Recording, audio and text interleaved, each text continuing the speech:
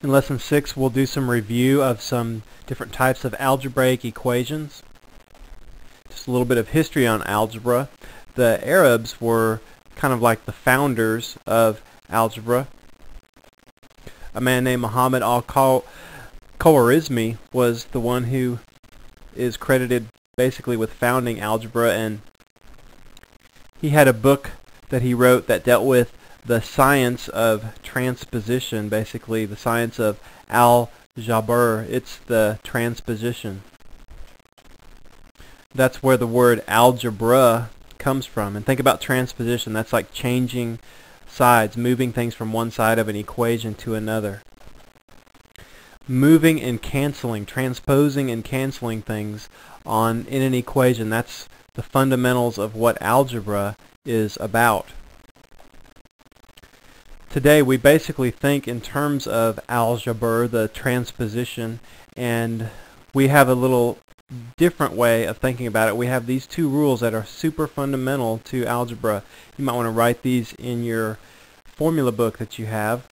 The addition rule, same quantity can be added to both sides of an equation. It doesn't change it. It doesn't change, it just changes the way it looks. It doesn't change your value or your solution and the multiplication division rule. Both sides of an equation can be multiplied or divided by the same non-zero quantity. That doesn't change your solution to the equation at all. It just changes the way it looks. We'll be applying those two main rules plus a few others as we do any algebra equation. Remember, deductive reasoning, that's the application of a rule. And did you know that applying a rule like that to different situations, that that's a, a that's an indication of wisdom. So if you can do this, if you can do these algebra relationships, apply these rules here to learn new things, to solve new problems, that is uh, indication that you are a wise person.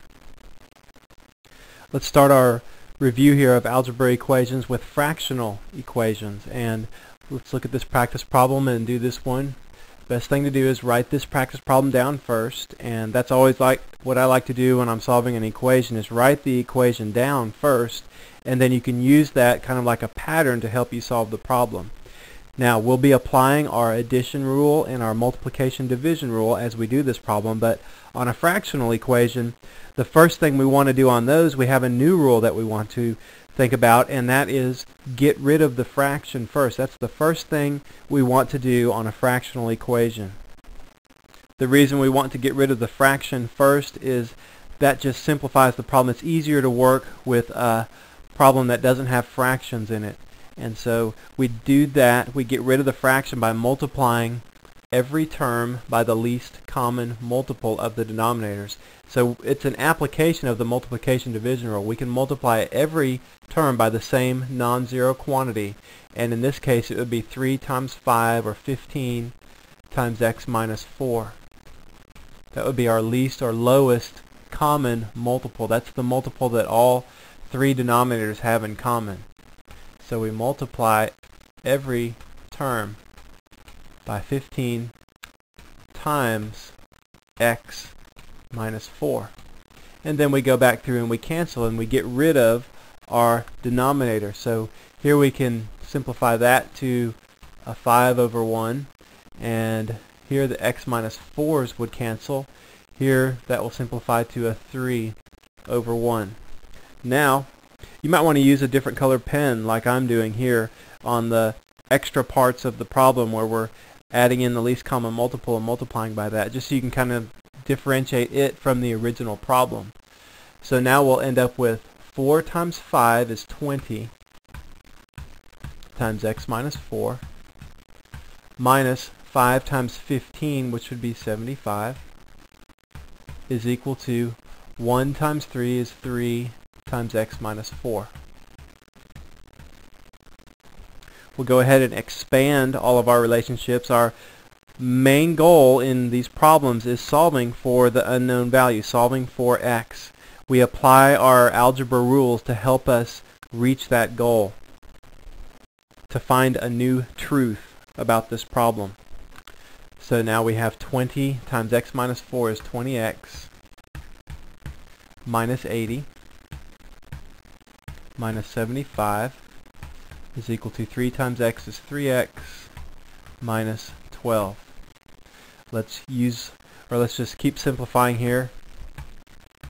20x minus 155 is equal to 3x minus 12. Let's get the x values on the left side there so we could subtract 3x from both sides. We could just do that in our head and know that we would end up with 17x on the left. Add 155 to both sides. That's a little bit more complicated to do in our head, so I'll just write that down. That cancels right there on the left, and we end up with 143.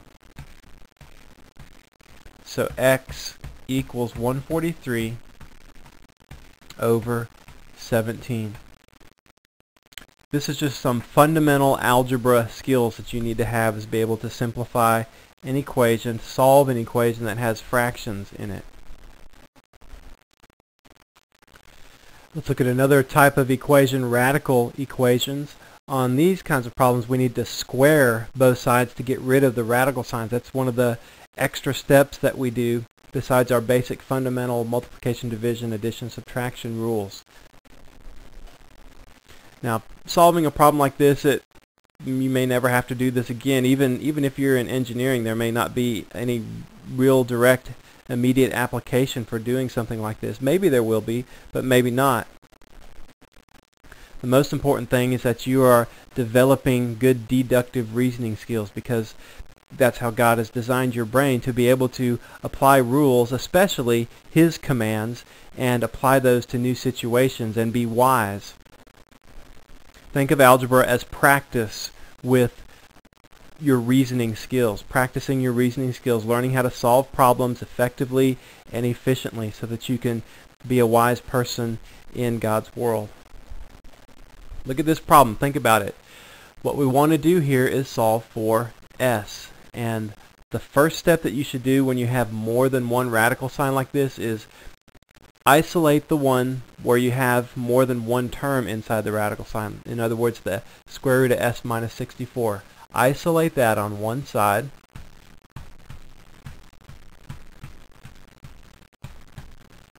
And then square both sides. So let's just put some different color parentheses on here. Square both sides. Think about what happens on the right there. What you can do is expand that out to solve it.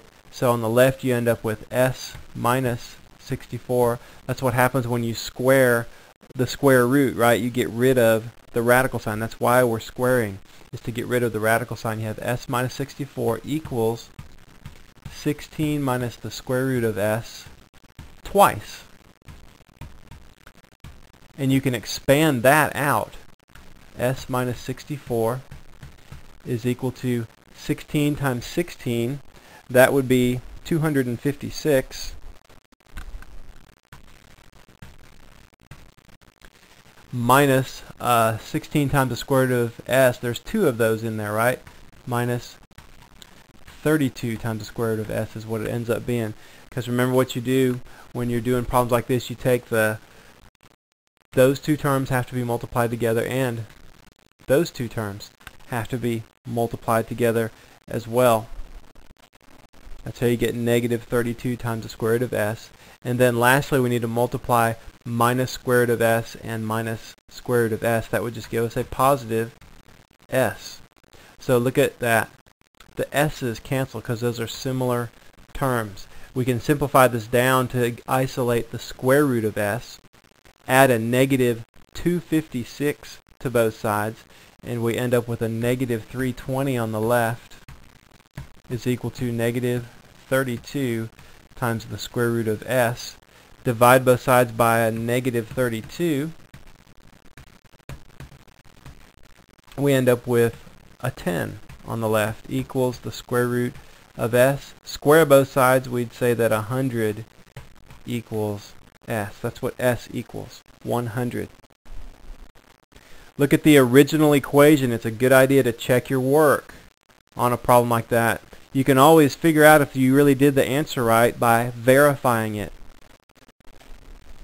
Verify means check the truth of what you just did. So put 100 back into the original equation, you'd have 100 minus 64 is 36.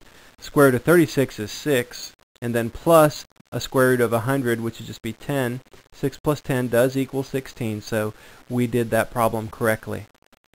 Do you remember what these are called here that I'm circling in red? Those two expressions are in parentheses are called binomials. We expanded those binomials out.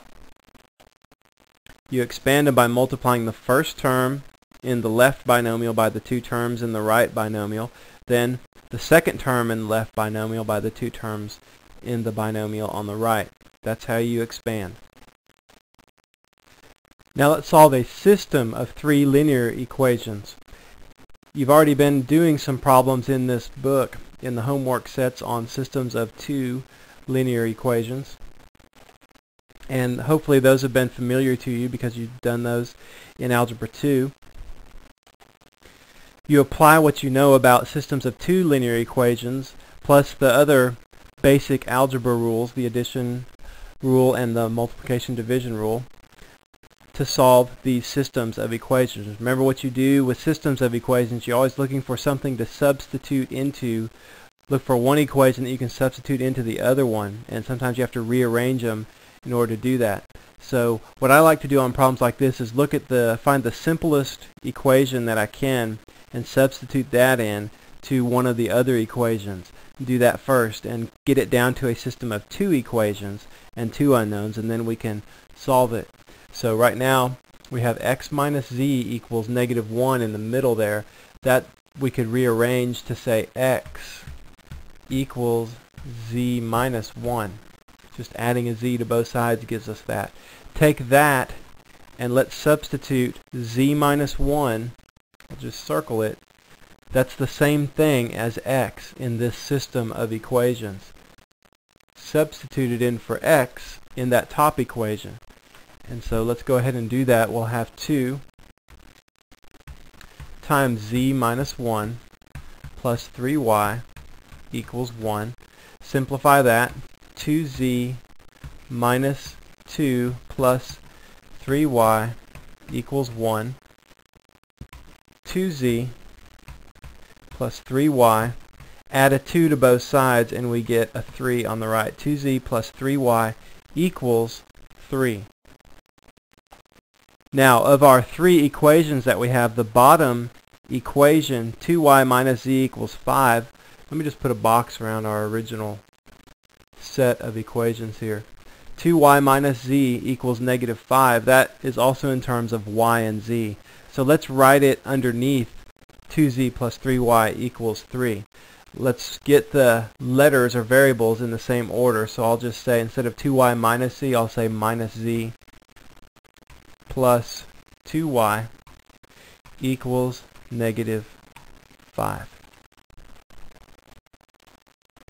Now we have two equations here and two unknowns.